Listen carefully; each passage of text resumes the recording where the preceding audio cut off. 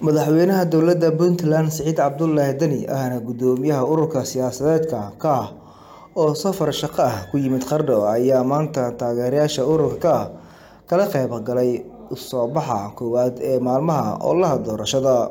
Madaxweynaha ayaa markii uu Qardho gaaray qaatay kaarka codbixiyayaasha si uu u codeeyo doorashada golayaasha deegaanka ee ka qabsoomaysa Qardho, Hufeyn iyo Eyl labatanka Oktoobar sanada.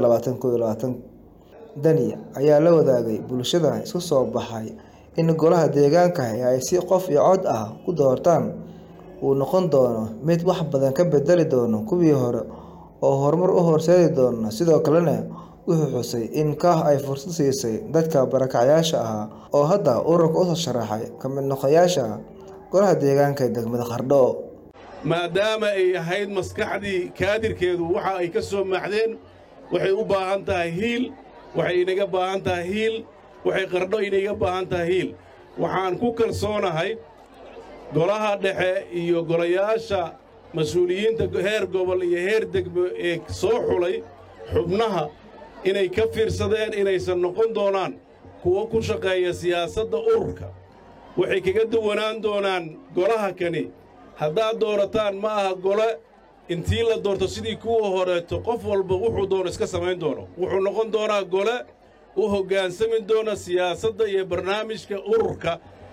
Waxaan rajaynayaa inay noqon doonaan kuwo aan la xisaabtanno oo aan daba soconno oo khaladkooda keliya aanan eegine. Marka horeba aan u diyaarinno inay najaxaan oo ay guulaystaan oo ay bulshadooda u shaqeeyaan.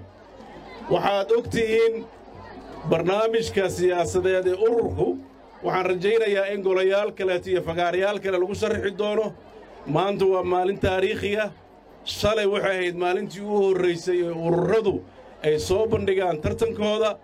Maanta waxaa nasiib u helay ururka kaah inuu soo isu soo saaro taageerayaashiisa.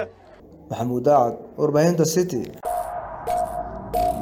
waad ku mahadsan tahay daawashadaada? Inaad nagu soo biirto wax lacaga kaagama baxayso keliya waxaad u baahan tahay inaad falow saarto boggeenna facebook ama aad sabskraib dhahdo janaalkeenna youtube adigoo bartilmaamaydsanaya city somaali t v an rediyo la jaanqaad warbaahinteenna oo hel warar iyo barnaamijyo adiga kaa hadlaya